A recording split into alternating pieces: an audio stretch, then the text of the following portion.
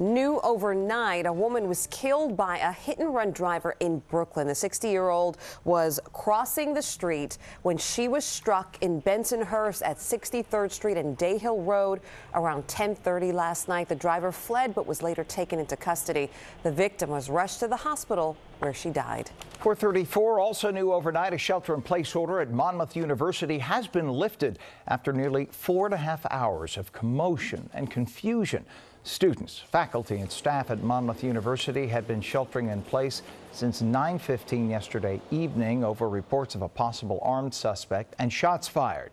Police are now saying there is no evidence that in fact happened. In fact, police are now saying the whole thing was a big mistake. After interviews, they found the person of interest was carrying a curling iron. And that was mistaken for a weapon.